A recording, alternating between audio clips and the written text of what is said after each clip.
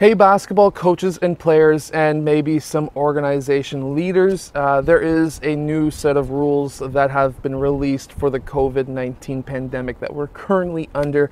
Uh, so, these are the guidance uh, basically for opening up high school athletic and athletics and activities uh, from the NFHS, which is the high school uh, rule books, essentially for most, if not all, sports. Uh, so, let's go through it and see what they say.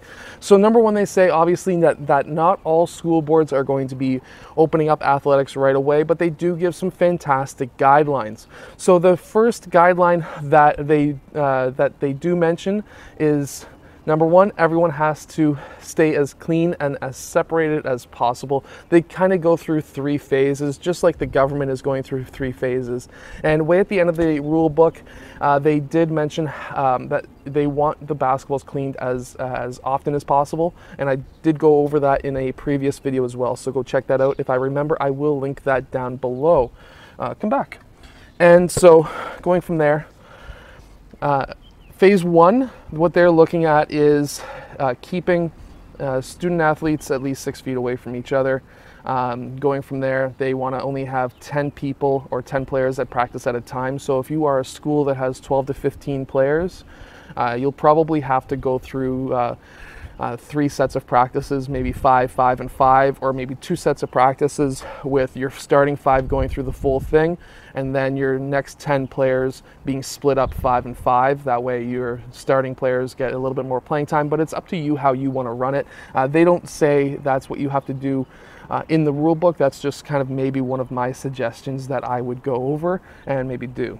So, one of the big major things and rules that have changed, something that hasn't been in the rule book before, and you weren't allowed to play with one of these on before, and that is a face mask. Um, so, what they're allowing is uh, medical or non medical grade face masks to be worn during games. You can wear them during practice as well.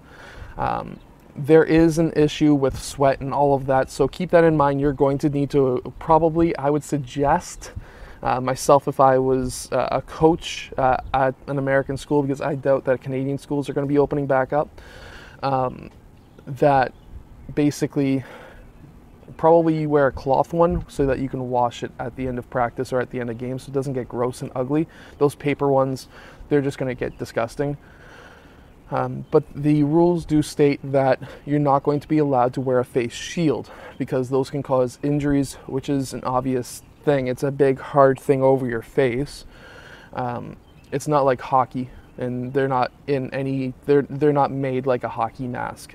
So. Uh, no face ma- uh, face shields, but you're allowed to have a mask over your mouth, uh, which is fantastic. Uh, that's a really great thing to do. They also have in the rules that every single team before practice and before games will need to take a players and coaches. Uh, they don't say coaches; they say players, but I'm going to say coach as well um, temperature before the game and before practice, and I would suggest that as well, uh, even afterwards, because they're like even myself as a player, I played through the flu. I know kids don't do that these days, but I played through the flu, and I remember one game where I played through the flu, and I got like 30, I think it was like 34 or 35 points in a game. It's one of those things where back then it was socially acceptable, but today, not acceptable. If you're sick, stay home. If you are an administrator or if your coach is also the admin for your team or your for your school's uh, sports, uh, I would probably invest in one of those uh, temperature scanning gun things. I think they're like in the 70 or 80 dollar range.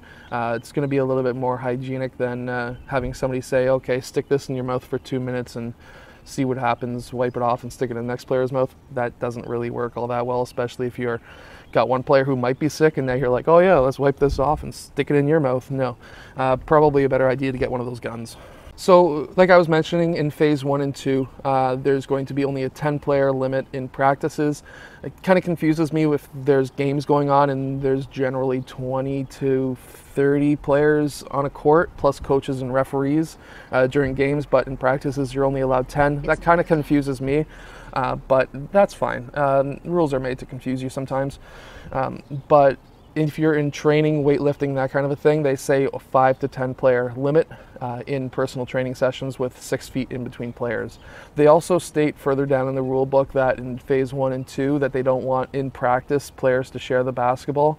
Um, again, confuses me when it comes to game time. You're going to be sharing a ball anyways, and how are you going to practice plays? So, um, with an invisible basketball, hey, catch. um, oh no, I missed the ball. uh, my mind. Anyways, so that's just going to be for the health of the team at that point. That's why they're doing it. Um, if you're keeping, let's say one player has a virus and then you've kept it to five players, at least you still have a team to play with, right? That's why they're doing it, I, I, I would assume. I should mention that uh, I will be posting the link to this PDF. Uh, right in the description below, and if I remember in the top comment below as well, uh, just so that you can take a look at it because it is a hell of a long document. When it gets to phase two inside of a gym, they're still looking at a 10 player limit um, for practices. However, if you have a court outside, so um, if you were here way back when I was down in Grand Turk and I was teaching the players basketball at their school, they only had an outdoor court. You can have, if you have a school like that where you have an outdoor court that's really good or even partially good, has at least mesh, you can actually uh, have up to 50 uh, players practicing uh, on the outdoor court. So uh, that's this is again just guidelines, but generally speaking, you, you want to be safe. So I would still, if you're worried, uh, if you're in an area like New York where you've got a ton of cases, even outdoor courts, I would still stick to like five players just so that in case one player did have the virus, you can still go to a game and still uh, participate in a game with 10 players. So keep that in mind. Uh, that's what I would do. But if you're in an area where your state may or your area may only have maybe 100 cases and they've all recovered, then at that point you can, I would say, go for the 50 outside. Um, that would be safe. In my mind, anyways. That's I'm not a medical per, uh, personnel. I'm, I'm, a trainer. Uh, what do I know? So one of the reasons why my hands are so cracked up and dry, um, they they're always generally like this, and I always fight this dryness um, I use a lot of hand sanitizer even before this virus, and I've washed my hands a ton even before this virus all started happening. Um, but they say, just like all the other medical personnel, 20 seconds for washing your hands. Have your players wash your, their hands as much as possible. I wash my hands for like like anywhere from 40 to 60 seconds. Like I'm washing them for a while. It's probably why they're so dry all the time, but.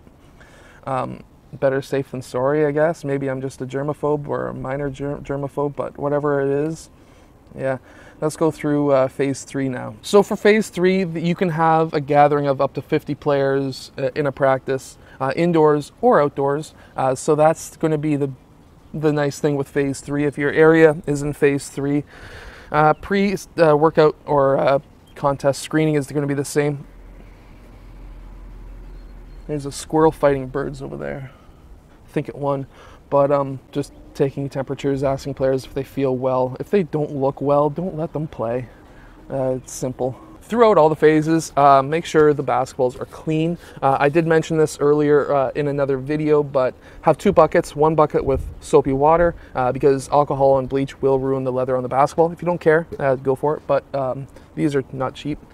And then just have the soapy cloth, wash it down, get another a wet, wet cloth, not a soapy cloth. That's why you have two buckets. One bucket full of soap, another bucket full of water. Wipe it down, you're all set. Then get a third cloth, wipe it off, dry it off. You don't want it all wet. And now you've got a clean, safe basketball. There's probably some really rich school that has a UV killer thing. If you've got a couple hundred grand, you could probably buy one of those, but um, yeah, those are expensive. Something that is uh, really confused me even as a player because uh, my high school did this as well. We all shared water bottles. I didn't. I already. I always brought my own, and I really only shared my uh, shared water with the others.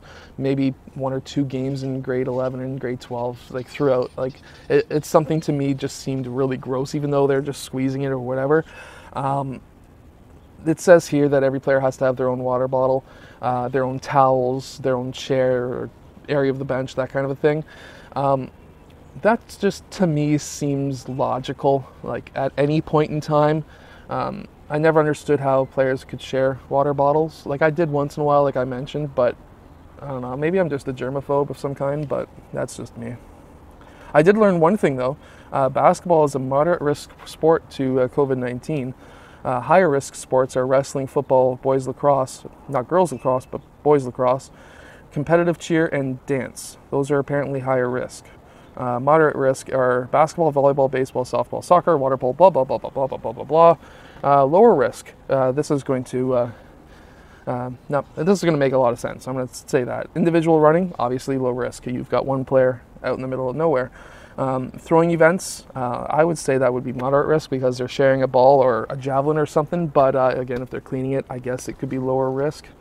Weightlifting, um, alpine skiing. Um, if, if you're if you're at a school that does alpine skiing, let me know in the comment below because I've never heard of a school doing alpine skiing. Maybe out in BC, maybe. Anyways, I hope that you've enjoyed today's video. I'm to link this down below. Um, it's a total of 16 pages. And uh, it, it, also comes with a uh, athlete and coach monitoring form, which is kind of cool. Um, does the player have a fever? No. Does the player have a cough? Maybe. Does it have a, does the player have a sore throat? Um, no. Shortness of breath uh, when he is dying from running so much.